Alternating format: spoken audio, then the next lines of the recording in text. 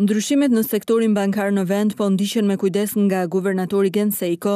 Për mediat ai tha se nga gjashtëmbëdhjetë institucione financiare tashmë kanë mbetur katërmbëdhjetë të tilla, ndërsa theksoi se po zbatohet i gjithë legjislacioni që është në fuqi për ndryshimin e aksionerëve. E marrim në analizë prej vitesh këtë situatë, pra kjo nuk është një situatë e papritur ose situatë e re, këtë ne e dinim, e kemi shfrytëzuar dhe kemi synuar si rregullator të sistemit financiar që ky proces të shoqërohej me konsolidimin e sistemit bankar dhe në një farë mënyre ka një rezultat pozitiv, pasi sot ne kemi dy banka të përthithura nga banka ekzistuese, pra në total ne sot kemi 14 banka, Kundrejt gjashtëmbëdhjetë bankave që ne kishim.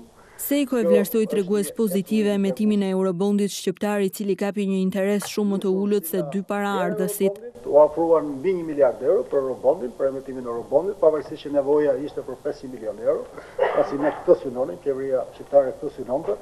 Po ashtu dhe norma e interesit në nivelin e tre pikë pesë për qind dhe afati janë tregues të një mbyllje me sukses të transaksionit për eurobondin. Natyrisht që ky është tregues i vlerësimit, i vlerësimit të ekonomisë shqiptare nga tregjet e huaja ndërkombëtare. Këshilli Mbikëqyrës vlerësoi se raportet e kërkesës dhe ofertës për valutë paraqiten të qëndrueshme dhe se mbiçmimi i kursit të këmbimit është një rrezik më i ulët për inflacionin.